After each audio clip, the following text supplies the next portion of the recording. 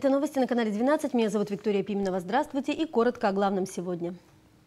2 килограмма для первоклашек, 4 для 10 и 11 классов. Таковы санитарные нормы веса школьных портфелей. Во всех школах Череповца их взвешивают и выявляют нарушения. За процессом наблюдала Анастасия Ходкова.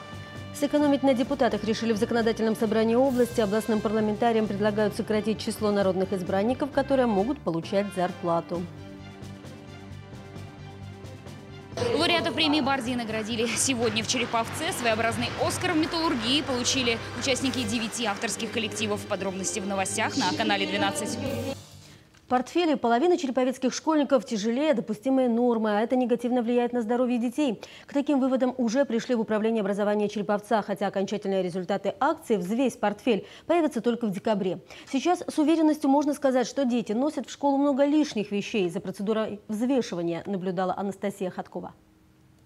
Новый дом несу в руке, дверца дома на замке. Там жильцы бумажные, все ужасно важные. Ответ на этот вопрос у четвероклашек прозвучал незамедлительно. Всех расцветок и форм верные друзья школьников могут стать их врагами. Тяжелые портфели наносят вред осанке и формированию детского организма, особенно в начальной школе. Поэтому по инициативе родителей и управления образования Череповца в школах проходит акция «Взвесь портфель». Три килограмма.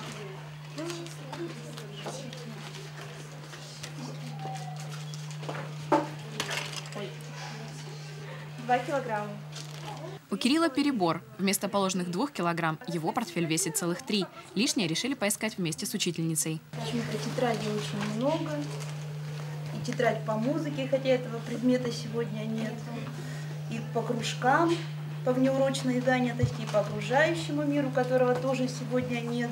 В итоге без лишних вещей вес портфеля школьника не превысил бы допустимую санитарную норму. Зачастую дети берут с собой все, что понадобится в течение недели, чтобы чего-нибудь не забыть. Следить за содержимым портфеля должны родители, но иногда они не обращают внимания на большое количество тетрадей или слишком тяжелый пенал. Я складываю все по дневнику, потом мама открывает мой дневник и проверяет все, что я положил в портфель.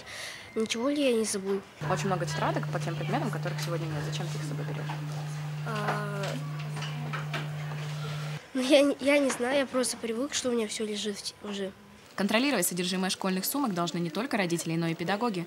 Ведь кому как не учителю знать, что должно быть на том или ином уроке у школьника. Мы делаем все от нас зависящее в образовательных учреждениях, чтобы э, каким-то образом минимизировать э, массу портфеля, затраты, которые ребенок несет, э, начиная с 1 по 11 класс, и сделать э, таким образом, чтобы и вещи, которые он приносит в школу, были ему не в тягость, комфортно были, и э, по максимуму, естественно, использовались в образовательном процессе. Организаторы акции «Взвесь портфель» планируют собрать данные со всех 45 школ города, проанализировать их и понять, как можно сделать портфели легче. Решением может стать установка шкафчиков в школах, письма в издательство с просьбами присылать учебные пособия в мягких обложках, переход на электронные учебники. Мы комиссией соберемся, во-первых, посмотрим все, что напишет нам образовательное учреждение. Затем у нас будет городской родительский совет. Мы обсудим с родителями эту проблему, выслушаем, какие родители предлагают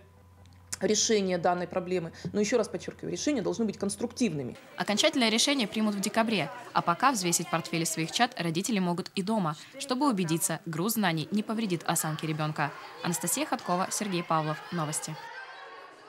Сохранить памятник маршалу Ивану Коневу в Праге призвал губернатор Олег Кувшинников. В СМИ появились сообщения о желании чехов снести монумент. Глава Вологодчины направил письмо мэру столицы Чехии с просьбой сохранить памятник волокжанину, который участвовал в освобождении Европы. Он освобождал несколько стран, в том числе Чехию, Прагу, является почетным гражданином города Праги. Его памятник стоит в центре города. На сегодняшний день э, некоторые э, круги, э, некоторые политические деятели пытаются переписать историю Великой Отечественной войны. Э, молить заслуги советских солдат, в том числе маршала Конева, победе фашистской Германией. Это недопустимо. Памятник нашему земляку, маршалу Ивану Коневу, был установлен на одной из площадей чешской столицы 45 лет назад, однако в последние годы все чаще говорится о его возможном сносе. Периодически хулиганы уст- устраивают акты вандализма. В Москве на заседании Российско-Чешской комиссии о взаимном содержании военных захоронений представители Минобороны выразили обеспокоенность по этому поводу. Об окончательных решениях чешская сторона до сих пор официально не заявила. Добавлю, маршал Конев участвовал в битве за Москву, в Курской битве и штурме Берлина. Законопроект о сокращении числа депутатов, работающих на постоянной основе, обсудили сегодня в Законодательном собрании области. В региональном парламенте считают, что нужно воспользоваться возможностью и снизить расходы.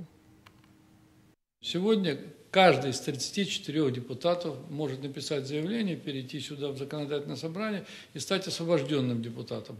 Правда, этим правом пользуются не все, но такая возможность есть. Мы считаем, что по опыту других регионов необходимо сократить э, количество депутатов, которые могут быть на освобожденной основе, наполовину, до 17 человек. Согласно законопроекту, право работать на постоянной основе получит председатель ЗСО и его заместители и не менее одного депутата от каждой политической фракции. Предположение народные, э, предложение народные избранники обсудили на заседании круглого стола. Кроме того, документ был выставлен на общественное обсуждение на сайте ЗСО. Проект планируют рассмотреть уже на ближайшей сессии законодательного собрания, которая пройдет 25 ноября. Предполагается, что закон начнет действовать после выборов нового состава ЗСО.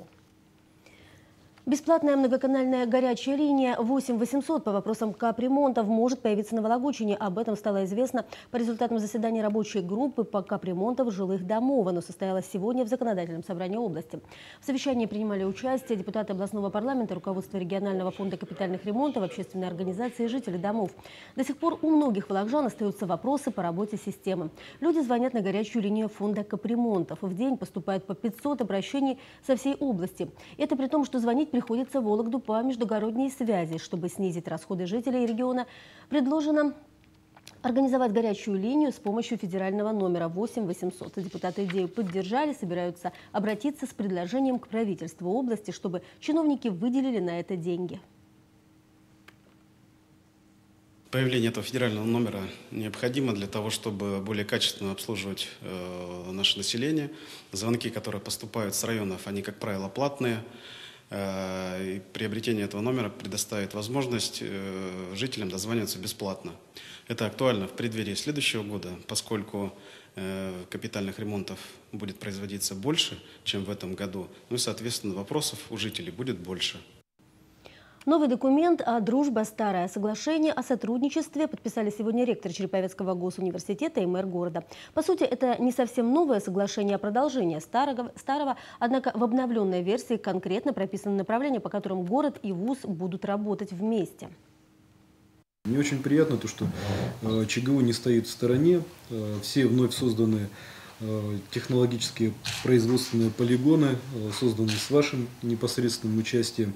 Я вижу, как меняются образовательные программы, как они э, переориентируются под потребности не только крупного и среднего, но даже малого бизнеса. Подготовка квалифицированных кадров – основа экономической стабильности и развития Череповца, отметил Юрий Кузин. Город готов предоставить для студентов ЧГУ площадки для освоения практических знаний. В процессе обучения будут участвовать и специалисты муниципалитета, а также документ предполагает реализацию совместных профориентационных программ, программ поддержки обучающихся, а также учреждение именных стипендий и многое другое.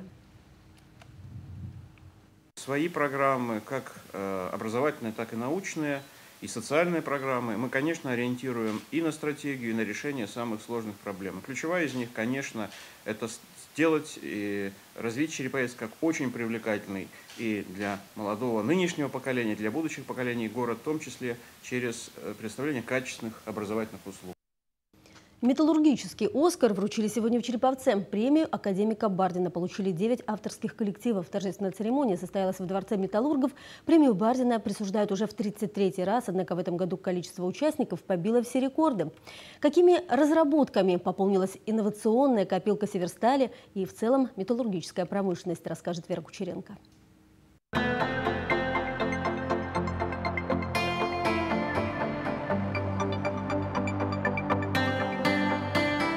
Зрелище впечатляющее, да и вообще металлургическое производство поражает воображение. И все это сделано человеческими руками. По большому счету, металлургия в Череповце появилась благодаря одному человеку – Ивану Павловичу Бардину. Академик обосновал необходимость строительства завода не рядом с сырьем, а на пересечении транспортных потоков – то есть у нас. Лауреатов премии Барзина по традиции награждают в день рождения академика. В этом году премию вручают 33 раз. И к 236 работам, которые стали лауреатами за эти годы в 2015-м присоединились еще 9. Премию Бардина присуждают за лучшие идеи в производстве технической или экономической деятельности. Лучшие работы отбирает специальная комиссия. И как не банально звучит, но в этом году было особенно непросто. В этом году рекордное количество работ. Только не было ни один год. 42 работы. Рекордно у нас было 36 работ в прошлом году. То есть мы с каждым годом наращиваем, наращиваем количество участников. А что же нового предлагают металлургической промышленности лауреаты? К примеру, один из авторских коллективов придумал, как снизить расход кокса на производство чугуна. Углеподготовительный цех – это первоначальное звено в цепочке. Мы провели большую работу по подбору шихтовых материалов. На самом деле, очень большая работа была проделана. Нашли оптимальный состав шихты, который позволил э, получать кокс более высокого качества. Ну и, соответственно, дальше по всем переделам снижались расходные коэффициенты, увеличилось производство чугуна. А еще одна работа посвящена освоению новейшей технологии нагрева дутья доменной печи номер 4. Так сходу понять трудно, но эти люди знают, а главное умеют применять на практике свои разработки. Кстати, общий экономический эффект составляет полтора миллиарда рублей. Польза для компании, а для участников – большой рывок вперед. Будем двигаться дальше, говорят лауреаты. Вера Кучеренко, Дмитрий Махов. Новости. Школьные батлы в Череповце. Сегодня в городе стартовал проект партии «Единая Россия». На базе девятой школы собрались команды из шести учебных заведений, которые в современной форме решили выяснить, чем опасны нехимические виды зависимости. О вреде алкоголя и наркотиков говорят много, но психологи призывают серьезно относиться и к чрезмерному увлечению компьютерными играми и теми же социальными сетями. В рамках проекта школьники вместе со студентами смогут обсудить важные социальные проблемы, а то, насколько молодым людям удалось разобраться в вопросе, оценят члены компетентного жюри. Возглавил судей заместитель председателя Законодательного собрания Вологодской области Алексей Канаев. Как отметил депутат, нужно активнее формировать систему ценностей у молодежи и заниматься пропагандой здорового образа жизни. Новости на канале 12 еще не все. Смотрите во второй части выпуска. Вологодские медики отправятся к пациентам. Бригады врачей будут курсировать по районам области, чтобы помочь больным, страдающим от сахарного диабета. Деревянную церковь восстановят за счет бюджета в Ватигорском районе. Здание 1733 года постройки после реставрации станет новым туристическим объектом. Концерт одного исполнителя, всемирно известный музыкант и композитор, выступил в Череповце. Зрители смогли в полной мере оценить возможности русской балалайки. Об этом и не только после короткой рекламы. Далеко не уходите.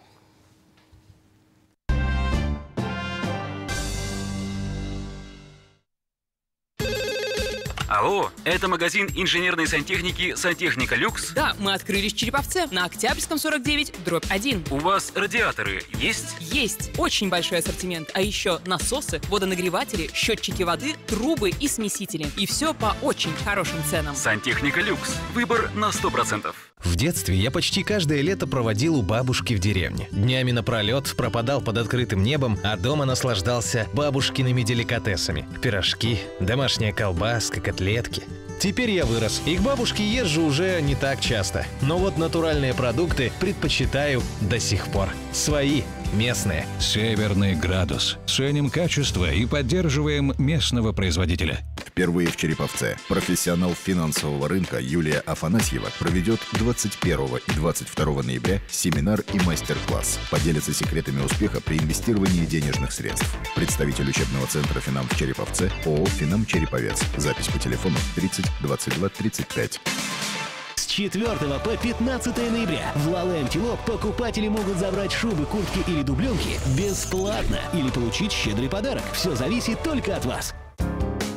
Осенний вальс и осенний вальс плюс. Новые выгодные вклады банка БФГ Кредит.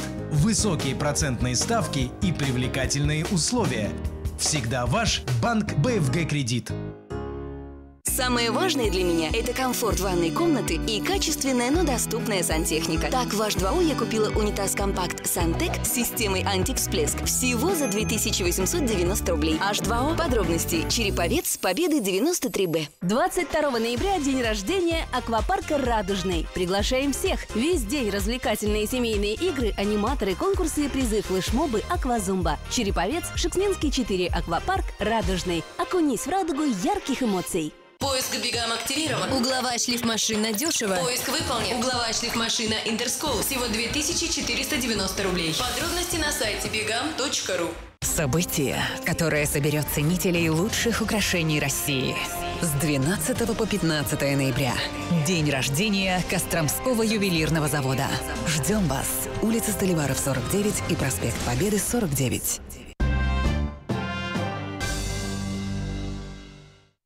Возвращаемся к новостям. В Зашексницком районе Череповца украли детские качели. Пропажу жители дома по улице Насеткина обнаружили. В пятницу 13-го с подобной проблемой череповчане сталкиваются не впервые. Об этом они написали в проекте «Медиа город». Журналисты газеты «Речь» выяснили у управляющей компании, куда подевались качели. Подробности вы узнаете из свежего номера издания. Узкие специалисты приедут на село. Выездная бригада врачей начинает работу в Вологодской области. В ее состав вошли эндокринолог, офтальмолог, невролог и кардиолог. Медики проведут осмотры пациентов с сахарным диабетом. Мы делаем это для того, чтобы приблизить специализированную медицинскую помощь в сельские населенные пункты. Сахарный диабет э, – это э, одна из таких очень важных проблем. В нашей области э, порядка 38 тысяч больных сахарным диабетом в том числе порядка 400 человек – это дети. Подбор специалистов не случайен. У больных сахарным диабетом часто возникают осложнения с поражением сосудов глаз, ног, нервной системы. Первый выезд состоится завтра в Сокольскую больницу. Медики планируют принять около 60 человек. Пациентам нужно взять с собой дневник самоконтроля сахара крови. До конца года врачи побывают еще в трех районах – Верховашском, Вологодском и Грязовецком. Добавим, выездная бригада создана с помощью частной медицинской организации, которая выполняет госзаказ в рамках ОМС. Сама медпомощь для пациентов будет бесплатной. А у вологодских новобранцев, которые отправились в армию, проблем со здоровьем нет, во всяком случае, быть не должно. Накануне во Всероссийский день призывника 45 будущих солдат отправились на службу, но перед этим поучаствовали в торжественной церемонии в областном военкомате. Мы собираем здесь ветеранов, самих солдат, ну, новоспеченных солдат, родных, э, которые отправляют э, своих детей в армию. Э, звучат напутствия. Сегодня в ходе дня наши молодые солдаты знакомились э, с военной техникой, которую представляли ДОСАВ и ОМОН. Э, проходят спортивные состязания. Ну, в общем, такие торжественные праздничные мероприятия. Курсанты Вологодского института, института права и экономики подготовили дефиле с карабинами, продемонстрировали приемы рукопашного боя. Для родителей будущих солдат была подготовлена экскурсия по комиссариату и праздничный концерт. После него вологодские призывники отправились служить в ракетные войска и части центрального подчинения. Добавим, весной ряды российской армии уже пополнили 1700 волокжан, еще почти столько же покинут родной город по итогам осеннего призыва. Вологодская область в числе лидеров страны по производству лучших товаров, лауреатов и дипломантов конкурса поздравили в областной столице. Предприятия нашего региона уже традиционно с успехом участвуют в конкурсе «100 лучших товаров России». Мы были и остаемся лидерами в Северо-Западном федеральном округе по количеству конкурсантов, лауреатов и победителей. Для нас это э, очень-очень э, приятно и, я считаю, очень достойно, что наш регион, несмотря на то, что он не самый большой регион по численности и по количеству предприятий в СЗФО, но он остается лидером, и для нас э, очень важно и ответственно э, этот флаг нести дальше. Конкурс «100 лучших товаров России» проводится ежегодно. На протяжении 17 лет предприятия Вологодской области с каждым годом все активнее участвуют в этом состязании. В этот раз в региональном этапе приняли участие 35 организаций с 47 видами товаров. На федеральный уровень вышла продукция из продовольственной, промышленной, производственно-технической сферы. Вместе с тем эксперты высоко оценили услуги, которые предоставляются в нашем регионе. В общей сложности в номинациях лучшими были признаны 17 видов вологодской продукции и услуг. Еще 23 отметили дипломами. Церковь в Вытегорском районе станет туристическим объектом. Об этом заявил замгубернатора Олег Васильев во время посещения объекта. В деревне Палтага восстанавливают храм Богоявления Господня, который был построен еще в 1733 году. Памятник федерального значения в 2010 году был передан в пользование Кирилло-Белозерскому музею-заповеднику. Сейчас эту территорию предлагают включить в туристический проект «Вытегорье». На восстановление церкви из федерального бюджета выделено 32 миллиона рублей. Закончить работу специалисты должны к концу концу октября будущего года. Сейчас на месте церкви лишь фундамент и первые венцы здания, а раньше церковь представляла собой пятиглавый храм из темной лиственницы сосны. В конце января 2009 года купола храма обрушились. К слову, 20 лет назад здесь работали студенты-историки во время археологической практики, и среди них был и нынешний замгубернатора Олег Васильев. Помню храм еще с куполами, значит, ну, это было красотища неимоверная, потому что это, знаете, такие маленькие кижи. Маленькие кижи, это характерно вот именно северная вот эта архитектура деревянная. Потом я помню вот уже, к сожалению, с обрушенными куполами, когда купола уже лежали практически на остатках крыши и проваливались уже вовнутрь. Я надеюсь, что совместными усилиями мы это все сделаем. Банджи, гитара, клавесины и все эти музыкальные инструменты может заменить обычная русская балалайка. Но только при условии, что она находится в руках настоящего мастера. И череповчане смогли убедиться в этом накануне во Дворце строителей. В рамках проекта «Городские встречи» прошел концерт уникального музыканта и композитора Алексея Архиповского. На концерте побывала и наша съемочная группа. Thank you.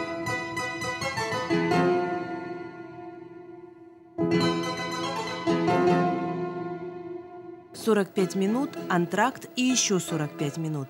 На совершенно пустой сцене на небольшом возвышении он и его балалайка. И удивительная музыка, такая, что заставляет зрителя сопереживать, удивляться и восхищаться. Я ничего подобного, конечно, никогда не слыхала. И, в общем-то, и мне показалось еще, особенно вот в этой «Дорога домой», которая, там как бы вот всю нашу русскую душу какую-то, всю ее вытащили, и там и завывание в юге слышали, и капельки дождя, и, и одиночество страшное, и желание чего-то другого, и, и тоска такая. Ну, в общем, все на свете. Для меня это музыкант, который играет сердцем, в первую очередь сердцем, потому что руки и владение, конечно, это виртуозная игра, но когда включается сердце, открываются навстречу сердца зрителей, это удивительно. Не все музыканты вот так работают. Никакой фонограммы и минусовки. Алексей Архиповский извлекает из своего инструмента невероятные звуки. Балалайка временами звучит как клавесин, временами как гитара, а иногда создается полное ощущение, что на сцене играет оркестр. Это действительно общение на, наедине, как бы наедине, хотя э, присутствует много народу при этом.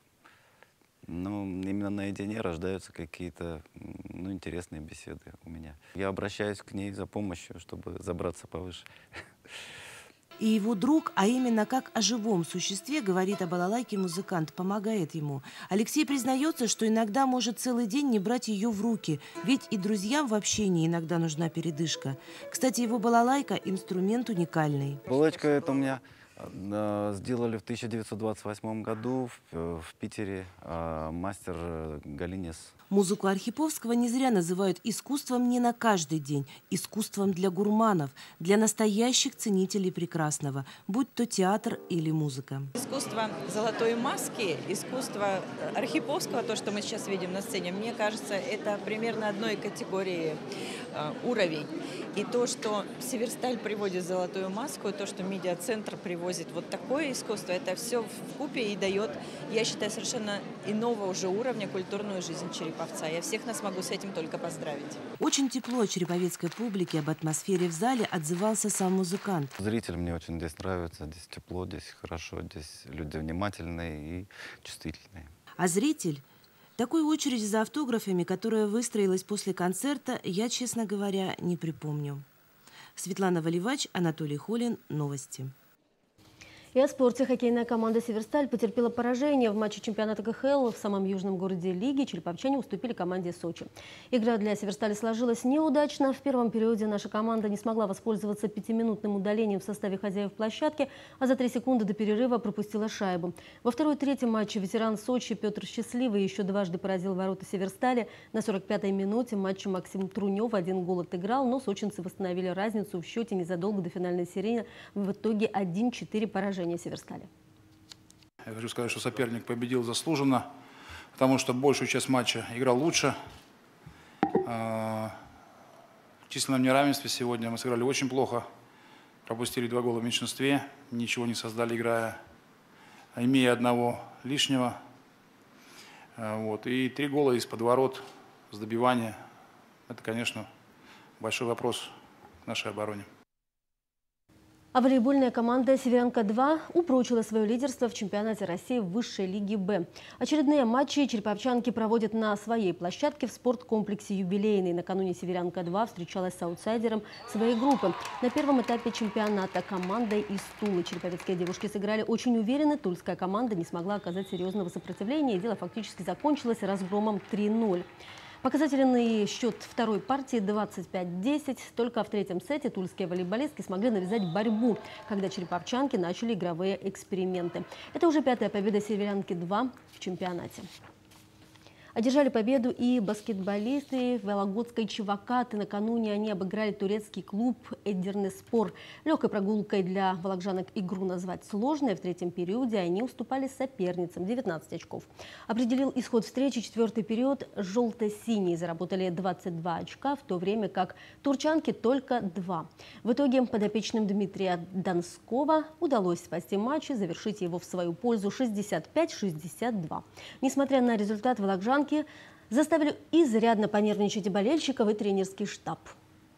Да, действительно, очень нервная игра, и я благодарен девчонкам, благодарен и зрителям за такую сумасшедшую поддержку, что это нам придало силы к концовке матча. И, конечно же, матч складывался для нас очень непросто. Команда соперников просто показала сумасшедший какой-то процент и двух- и трехочковых бросков. Э, практически все залетало. Но так продолжаться, в принципе, всю игру по логике не должно. Далее вас ждет прогноз погоды и продолжение сериала «Защитник». Ну а затем музыкальная комедия Карена Шахназарова «Мы из джаза». Не пропустите. Ну а на сегодня у меня вся информация. Если вы что-то пропустили в наших новостях, обязательно заходите на наш сайт 35media.ru. Там можно почитать, можно посмотреть все материалы. Кроме того, следите вместе с нами за новостями на Фейсбуке, в Твиттере. Присоединяйтесь к нашей официальной группе ВКонтакте. Там тоже можно смотреть новости, причем в прямом эфире. А впереди выходные, проведите их с пользой. Хорошего настроения и всего доброго. Увидимся на канале 12.